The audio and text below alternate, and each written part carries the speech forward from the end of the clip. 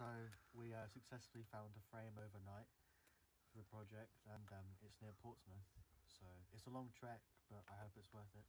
So I got my atlas and some few stuff to keep me occupied on the journey. So uh, yeah, I hope it goes well really.